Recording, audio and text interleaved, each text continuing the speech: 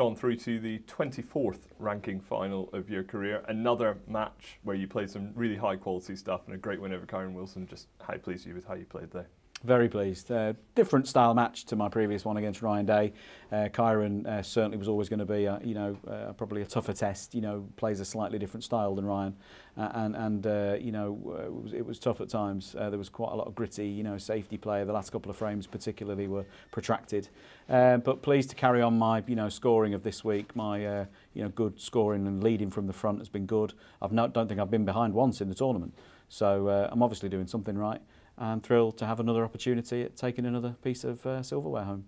Yeah, as you say, it was more free flowing at the start, more protracted towards the end, and he started showing a few signs of frustration. Did you feel you kind of just kind of got on top of him by that point and kind of? I remember very famously John Higgins did exactly the same thing against me towards the end of our second round match at the Crucible in 2005, and I remember thinking, got him.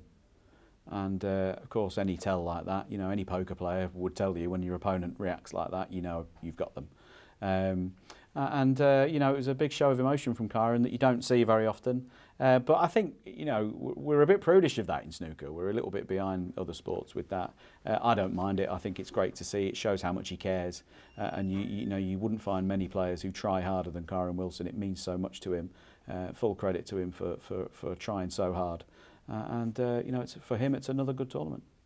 As we say, through to another final. It's There's been a lot that's gone on since the last time you lifted silverware at the 2020 Welsh Open. We've had a pandemic since then. Just given everything that's happened, how, how much would it mean to, to lift a, a, a title and a trophy again tomorrow?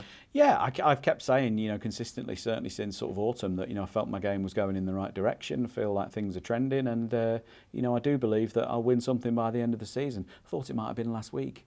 Uh, and it wasn't to be. You know, Robert played phenomenally well, and, and, and obviously there was so much on it for him.